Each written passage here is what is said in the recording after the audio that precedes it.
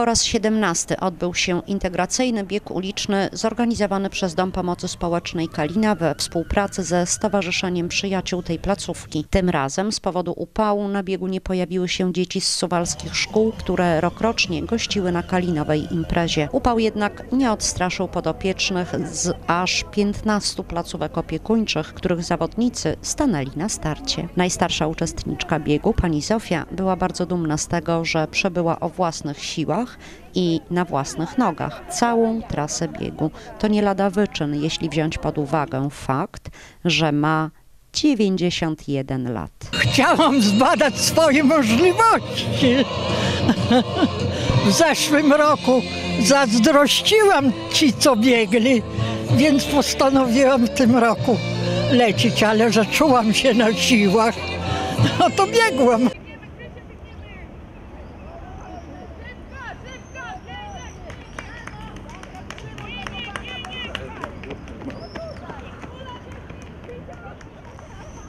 Biegniemy, biegniemy, biegniemy. Ula, dawaj z siebie!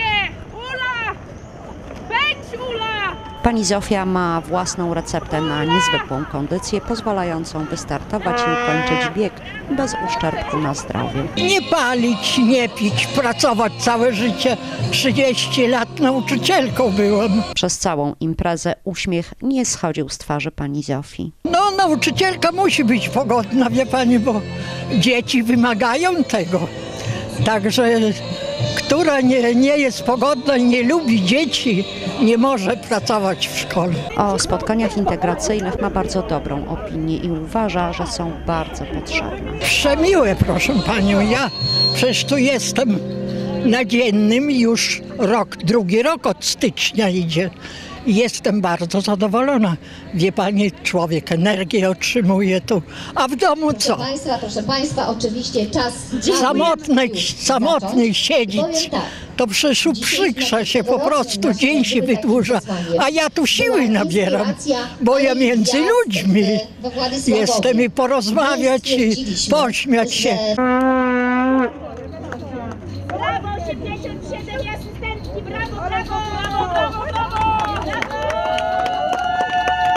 I faktycznie wszyscy uczestnicy spotkania tryskali radością.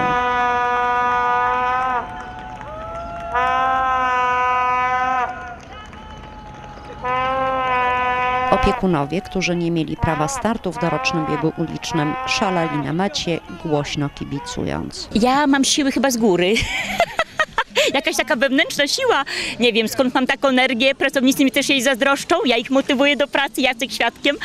Ale no chyba nie wiem. Chyba gdzieś tam z wyższych sfer ta energia taka pochodzi, że bo ja się cieszę, cieszę się oni. Jak oni się cieszą, to ja też się cieszę. Tak naprawdę jednak to trudno ustalić, kto kogo zaraża pasją działania i radością życia. To taka moja pasja, ja muszę, jestem z nimi ciągle. W zasadzie tak nie tylko te 8 godzin w pracy, ale i poza pracą zawsze takim duchem wspieram i kocham to, co robię. Kocham moich podopiecznych, oni też kochają mnie i stąd taka radość ze zwycięstwa. Trenują, dają z siebie wszystko, przygotowują się solidnie do tych zawodów, także radość tym bardziej wielka, że to trenowanie nie poszło na marne, tylko są wyniki. Pierwsze, drugie, trzecie miejsce, także super. Wiesława Kwaterska wspomina, że na początku działalności placówką, którą kieruje, podopieczni wprawdzie przychodzili chętnie, ale na propozycje wyjścia na spotkania czy do kina reagowali niechęcią. Teraz nikomu nawet do głowy nie przyjdzie alienowanie się. Było bardzo ciężko, w tej chwili nie. Każdy jakby e, wydyscyplinował się, o tak powiem. Jedni startują w zawodach, inni pięknie śpiewają. Mamy piękny zespół Nadzieja, który pięknie śpiewa, naprawdę e, może zdobywać laury, myślę, że nawet krajowe.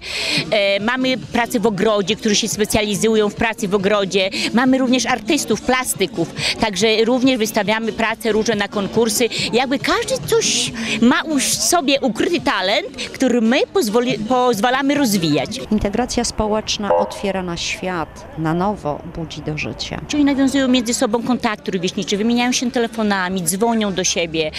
E, także nawiązują nowe przyjaźnie, nowe znajomości. To jest wszystko bardzo piękne i bardzo potrzebne.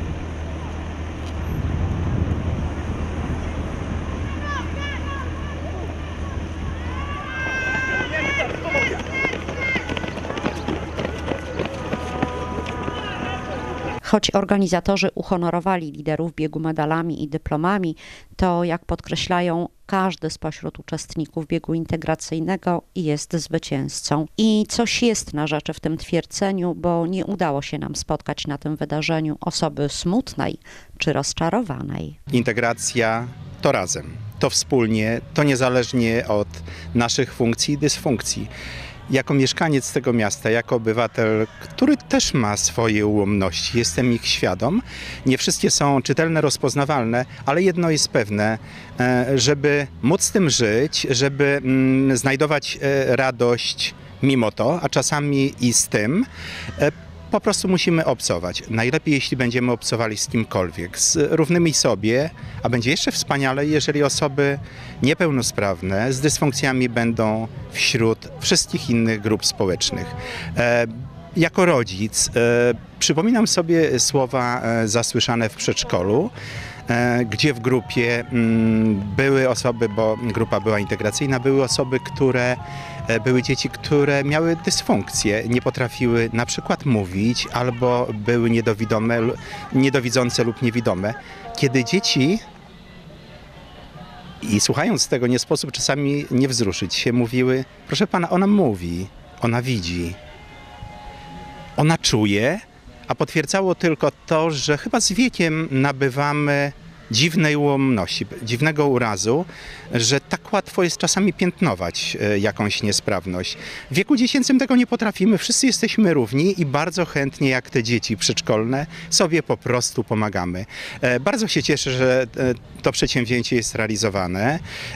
Bardzo się cieszę jako mieszkaniec, bo przed chwilą w ruchu ulicznym zatrzymywały się samochody i nikt nie pokrzykiwał i nie miał pretensji, że w ciągu dnia pracy jest jakaś blokada, jest nieprzejezdność. Uczymy się tego. Pewnie jeszcze trochę minie czasu, zanim e, standardy będą u nas światowe, ale i tak wykonujemy wielki krok naprzód wobec tego. Ukłon w stronę rodziców, żeby e, jak wiemy, nie da się niczego robić na pokaz i nie trzeba. Ale też nie ukrywajmy, nie używajmy tego czwartego, tak zwanego piętra, niewychodzenia z domu e, i tych usprawiedliwień typu, że nie wypada, że ktoś się będzie przyglądał. Chodźmy, jeździmy, korzystajmy z komunikacji, korzystajmy z przedsięwzięć, staramy się jako samorząd, a tutaj dodam już może niepotrzebnie, bo to są oczywiste kwestie, żeby te wszelkiego rodzaju e, bariery i ograniczenia likwidować, te fizyczne, ale te mentalne także. W 17 biegu integracyjnym udział wzięło 15 placówek, które reprezentowało około 120 podopiecznych. My poprzez swój projekt chcemy, że tak powiem, pokazać aktywność osób, zarówno tych niepełnosprawnych, jak i aktywność seniorów, bo powiem szczerze, że w tym integracyjnym biegu ulicznym bierze udział seniorka, która ma 91 lat. Więc jest to piękny wiek, wielki szacunek, zechciała wziąć udział w takim biegu i pokonała tą trasę, manifestując przy tym swój wiek oraz, że tak powiem, sprawność fizyczną. Siłą człowieka bowiem nie jest jego sprawność i młodość, tylko chęć do pokonywania trudności.